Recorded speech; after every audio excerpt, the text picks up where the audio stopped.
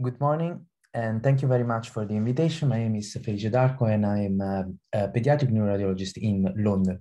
Uh, I will be speaking about posterior fossa malformation, uh, and um, uh, just to say that all my lectures are on YouTube, so if you are interested in some pediatric neuroradiology and head and neck lecture, um, just check it out. Um, we'll put out my camera and this is summary of presentation will be case-based. I will go through the uh, normal abnormal anatomy, cystic malformation, differences between cerebellar atrophy and cerebellar hypoplasia, which is relevant, uh, pontocerebellar hypoplasia and a pattern recognition approach. So uh, these are some of the references that I think are very, very helpful. I will um, show some other reference during this lecture.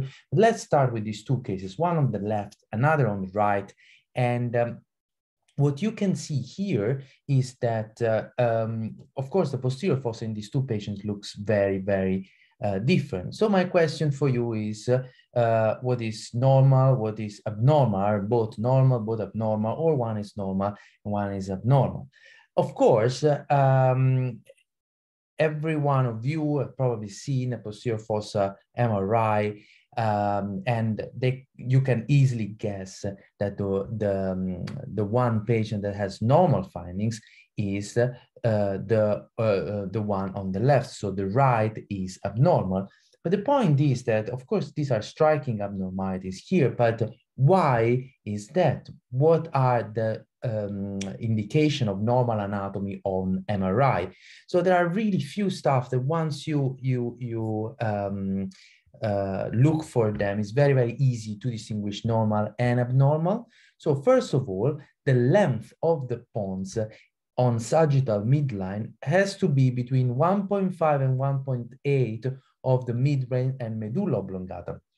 Why so important? Because if you have an abnormality in this ratio, like in this case, you have something that we call patterning defect. First thing. Second thing, the base of the fourth ventricle here in yellow is a straight line, and the apex of the fourth ventricle, so-called fastigium, is acute. If this is obtuse, you have a problem, you have a malformation. So if you have this problem in the brainstem of abnormal ratio patterning defect, if you have a problem in the fastigium, you can be dealing with Dandy Walker. The cerebellar folia are parallel to the calvarium, so they gives you this onion line shape. And finally, and you can see the difference here, the fissure are radiating toward the cerebellar nuclei, in particular here, the dentate nuclei. And you can see here in this case, this is normal on the left, on the right, this is abnormal um, fissures. So now that we know how to recognize something normal and abnormal, let's look at these two children with both with hydrocephalus and something wrong in the posterior fossa. Now, in this case, you can see that the fastigium, so this apex of the fourth ventricle is flattened and the tegmentovermian angle is enlarged. On this other side, also the tegmentovermian angle is enlarged. So the fourth ventricle is enlarged with direct continuation with the posterior fossa, but the fastigium is normal and the cerebellar uh, cere uh, vermis looks normal as well. And the axial also look very, very different. So what's the difference between that? Well, the this one has an hypoplastic vermis, so this is abnormal, Dilatation of the fourth ventricle and the fastigium is flattened and very large posterior fossa associated with hydrocephalus in this case was shunted. This is the definition of Dandy Walker malformation. Now, if you have something with enlargement of the posterior fossa, but the fast with the rotation of the vermis, but the fastigium is present and acute angle, despite the dilatation of the ventricle, the posterior fossa more or less has normal size, this is a Blake pouch cyst. So what is the difference between the two? Basically the fastigium and the presence of abnormal vermis. So if you read one of the papers that I showed you before, they're a very, very nice paper, you can um, understand that looking at the vermis is very, very important. And to look at the vermis, you need to know how the anatomy of the vermis is, and in particular, the vermis has nine lobules that are here, and how important is to do a 3D um, a T1 of the um, of the brain, which is the choice for giving you the in order to give you this high resolution um, image of the vermis.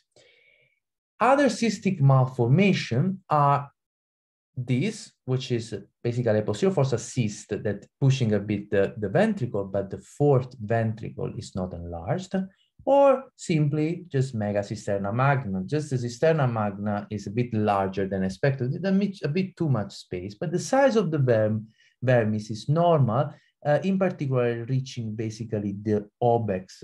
We have measurement, I will come to that later on, but if you reach, uh, if the, the vermis reach the obex of the brainstem, we can reasonably think that this is normal. So now we have seen Dandy Walker malformation, Blake pouch cyst, arachnoid cyst, and megacisterna magna. These are the main uh, cystic malformation. And this is a very useful scheme to recap. When you have, first of all, when you have a cystic malformation of the posterior fossa, what you look at? The vermis.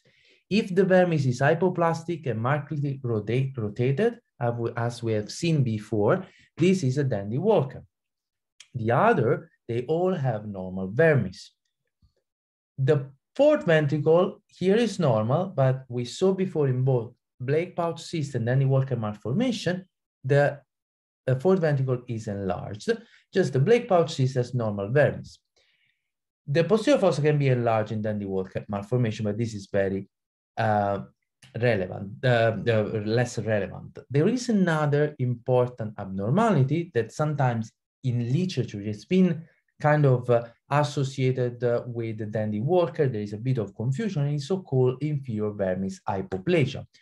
Inferior vermis hypoplasia is basically hypo hypoplastic vermis with everything else normal. So now we have the fifth let's say cystic malformation or malformation of the of, of the, the vermis. So Dandy Walker, vermis clearly abnormal, flattened fastigium, persistence of the Blake pouch cyst. The vermis is normal, but it's a bit rotated and the fourth ventricle is enlarged. But when you have a, a small vermis, but everything else is normal, you call it uh, vermis hypoplasia. So you see these two cases where the vermis is a bit smaller, but as you can see, this can be a bit difficult to pick up vermis hypoplasia. So we sometimes can measure. There is this beautiful uh, um, um, um, paper led by uh, Professor Sotoares that shows uh, among uh, several measurements, the height of the vermis is very, very important. This is how they measure and you have different Boingers per age. So if you have a doubt, measure it. Now, it can be, so what's new in terms of uh, um, the difference between Blake pouch, uh, sorry, uh, Dandy Walker malformation, cerebellar hypoplasia, and other abnormalities.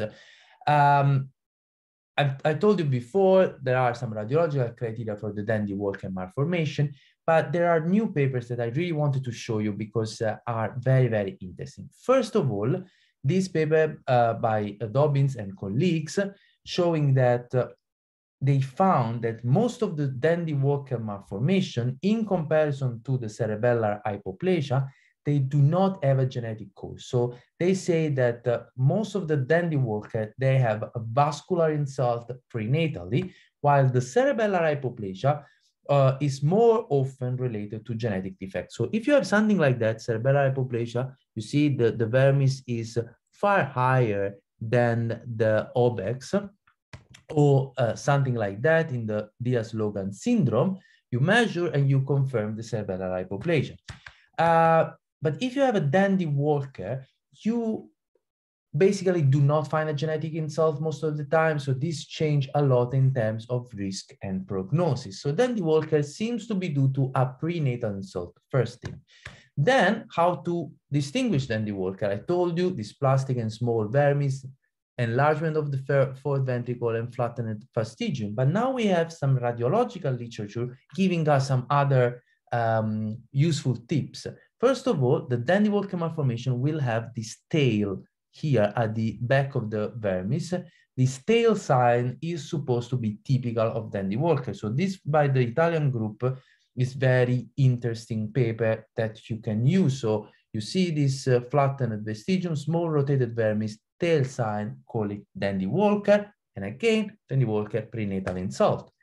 And there is a recent uh, um, uh, paper from Whitehead and colleagues in pediatric radiologists that add another radiological sign. He basically um, uh, showed that the, the Taenia tela and choroid plexus here in the normal position uh, should be in the inferior part of the fourth ventricle. And this is the, the, the axial view.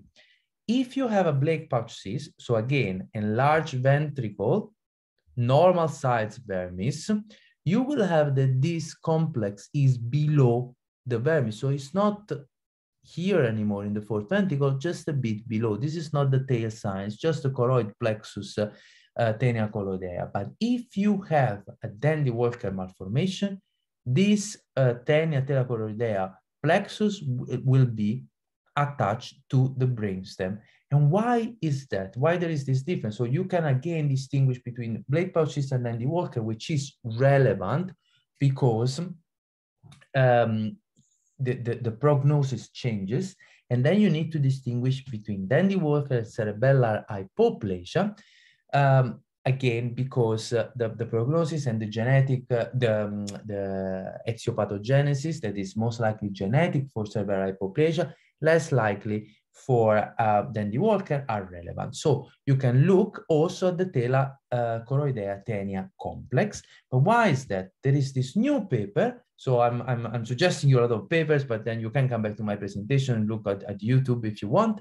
Um, uh, and this paper shows why there are these morphological changes. They show that you see, this is normal, this is Dandy Walker. There is disproportionate um, hypoplasia, in particular of the uh, posterior cerebellar lobule, which is here, which remains outside and inferior to the uh, rest of the vermis. And the tail is actually composed by this embryological structure that is called rhombic lips. Normally, rhombic lips is internalized here during the normal development of the posterior cerebellar lobule, lobules, and uh, then disappears. But in Dandy Walker remains outside because there is an insult and this cannot develop properly. And actually, this is why in Dandy Walker here on the right versus uh, uh, Vermian hypoplasia. In Vermian hypoplasia, in both of them, the sides of the vermis is small. But in Dandy Walker, you have the tail sign, so this rhombic lips that remains outside and inferiorly to the vermis, and flattened fastigium. So the, the, the, the, um, uh, the anterior aspect of the vermis is flattened, while in the cerebellar hypoplasia, the fastigium is acute. Why? Because in the Dandy Walker, you have a damage most likely an insult, a vascular insult before the 14th week of gestation. This part here, so the rhombic lip does not internalize in the cerebellum, the posterior lob lobules do not develop, and the fastigium remain flat. So now you can distinguish these two situations, cerebellar vermis hypoplasia and Dandy Walker, where the cerebellar vermis is small, looking at the fastigium. So to uh, recap, we have Dandy Walker malformation, cerebellar vermis hypoplasia, both the vermis is small, different appearances, and uh, you have the, you can look at the tail sign and the fastigium that are typical of Dandy Walker. The other, Blake pouch cyst, megacisterna magna, and arachnoid cyst, they all have normal size vermis. Now we need to distinguish between cerebellar hypoplasia and cerebellar atrophy. So uh, what is the difference? You see these three different uh, patients. Let's start with the one on the right. In this case, you have unilateral small cerebellum, but you don't see enlarged fissure. So this is unilateral cerebellar hypoplasia. When you see a unilateral cerebellar hypoplasia, remember this most likely due to an insult as well in the uh, prenatal, a bit later on than, than the Walker. There is no widening of the cerebellar fissure and it's not progressive when you have, uh, again, a situation uh, of global cerebellar hypoplasia, but again, without widening of the cerebellar uh, fissure, you call it global cerebellar hypoplasia. It's not longer asymmetric, and in this case, you can have genetic or um, congenital infection. But you need to know that this is the definition of cerebellar hypoplasia, just a normal kind of uh, shaped cerebellum, but smaller. While when you have this widening of the fissure, we call it at, um, cerebellar atrophy. And in this case, you have a 23 months old um, child with a, a history of hypoglycemia at birth, but clearly there is a cerebellar atrophy with this widening of the cerebellar fissure. And this is a congenital disorder of uh, um, glycosylation that is the typical pure isolated cerebellar atrophy. So progressive widening of the fissure, we call it cerebellar atrophy. And this will have a wide differential, but in this case, uh, unlike the, the cerebellar hypoplasia or the Dandy Walker, we will have a lot of genetic cause for it. For it. Uh, pitfall, sometimes the atrophy is slowly or non-progressive. And another important paper that you can look at is this from Poretti. It's a bit old, but you see they divide the, the, the for pure cerebellar atrophy, or if you connect the dots between cerebellum and other part of the brain, cerebellar and uh, atrophy plus hypoplasia, Pelizaeus-Merzbacher, 4H, SABC, and so on. Or you can have cerebellar atrophy with very bright cortex, for instance, Marinesco-Sjogren, and so on. So this is a pattern recognition approach, but remember the first step is to distinguish cerebellar atrophy with widening of the fissure from the cerebellar hypoplasia. And once you have uh, recognized the cerebellar atrophy, despite the name, you are you need to look at the brainstem. And if you have pontocerebellar atrophic changes, you call it pontocerebellar hypoplasia. And this is a problem because it's a misleading term. So these are actually atrophy, not hypoplasia in most of the time. So remember, pontocerebellar hypoplasia are actually an atrophic cerebellum associated with also small brainstem, in particularly the, the pons. There are 11 types, sometimes can be non-progressive, but the first things is again pattern recognition. We need to distinguish between dragonfly appearance of the cerebellum and global pattern. So look, what does it mean dragonfly? Dragonfly means basically that in coronal, you have this appearance that looks exactly like a dragonfly, where the hemisphere of the cerebellum are more atrophic than the vermis. And the global atrophy is where the vermis is also involved. So this looks like a dragonfly, and this helps us in the differential. And as you can see, in both these cases, the pons is quite small. So you have pontocerebellar hypoplasia. And these are all the genes, but the important thing, the tips is that once you as a radiologist or, or pediatric neurology pick up the association between uh, cerebellar atrophy and small pons, you ask for the panel. So this is the first step. There is no way to panic. One example of pattern recognition is a specific kind of cerebellar, uh, pontocerebellar hypoplasia. Look at this.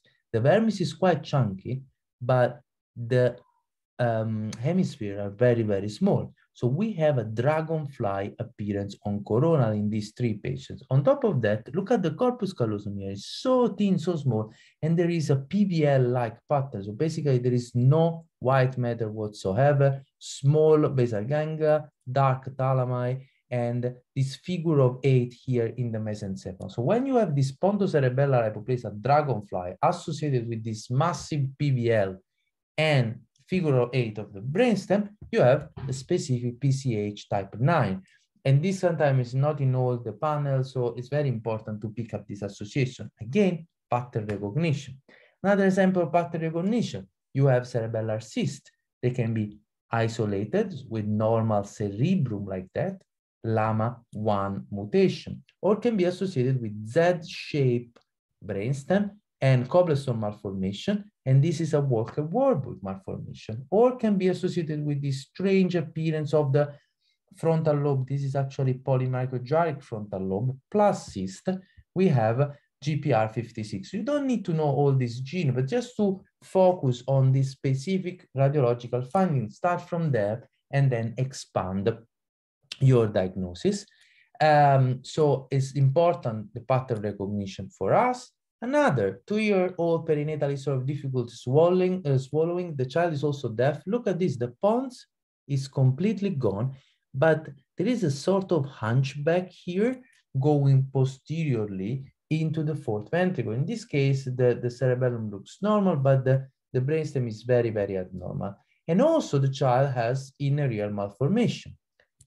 If we do DTI, you see that this is DTI is a way that we have to show the fibers in the brain. And look at the fiber here, they are interrupted at the level of the pons. And if we look at the axial, this is a normal axial. The red fibers are transverse pontine fibers. And then there is descending corticospinal tract and descending posterior fibers in a normal patient. In the abnormal patient with this disease, the transverse, uh, the transverse pontine uh, fibers are stuck posteriorly and there is smaller descending fibers. And this association with this typical hunchback of the brainstem is called pontine tegmental cup dysplasia. Again, a constellation of findings typically associated with this dysplastic area that give us the diagnosis. Another two cases, finally, again, remember the initial slide about the anatomy. Look at this cerebellum, there is no interruption between the two lobes. They are fused together. The, the fissure go right to left. And in this case, this is a control. You see there is the vermis in the center. There is also alopecia, and this is typical of rhombencephalosynapsis, which is another malformation of the um, uh, of the, the cerebellum where the two hemispheres are fused together. We don't know the cause, but sometimes there is this association Gomez-Lopez-Hernandez syndrome with rhombencephalosynapsis, scalp alopecia, like in this case, and trigeminal dysfunction, which is a clinical dysfunction. So again, you put together clinic and radiology. Uh, we have a lot of other malformation. This is the typical molar tooth appearance in a child, again with abnormal brainstem.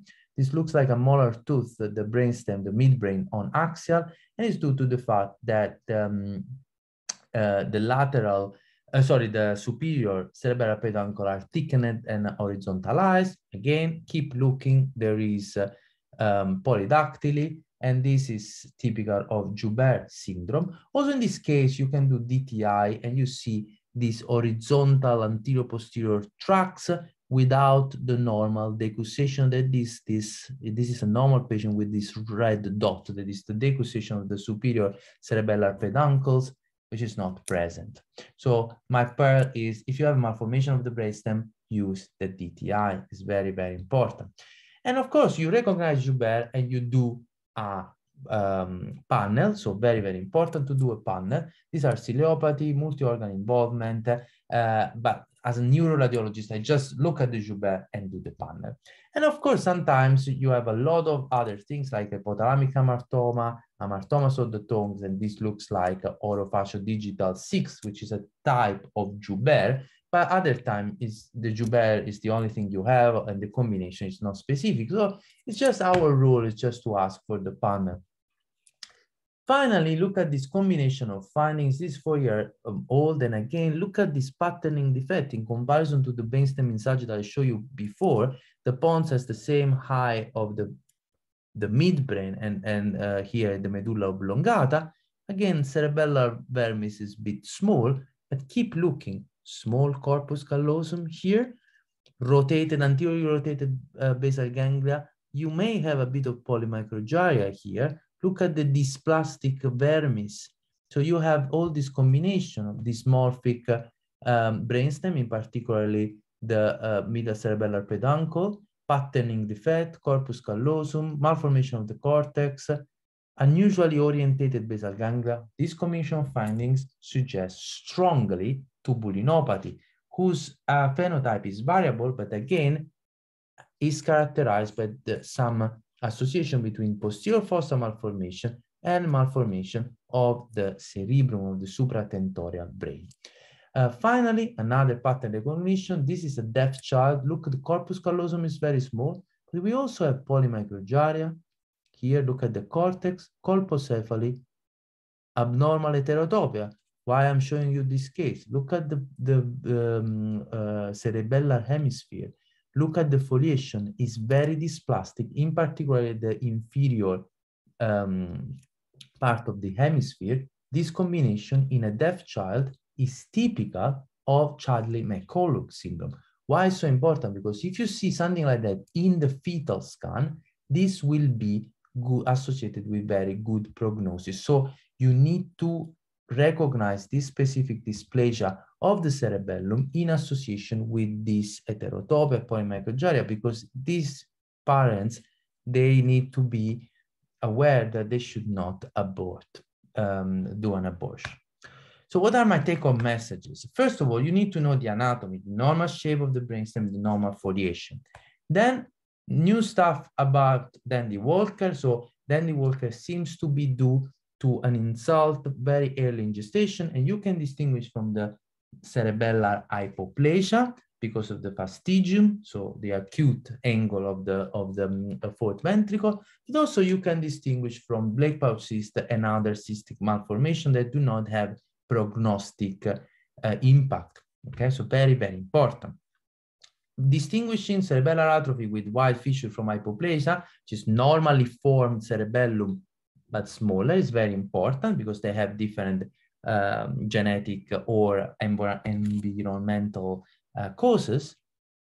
Use the pattern recognition, and this lecture, together with other lecture, is on YouTube. So please uh, uh, feel free to uh, check.